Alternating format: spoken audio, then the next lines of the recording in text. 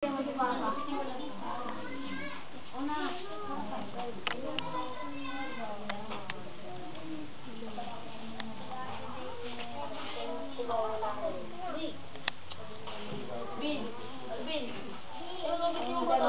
si Mako. Ang ganda nga ah. Hindi na nakakita ang ganyang balya niya.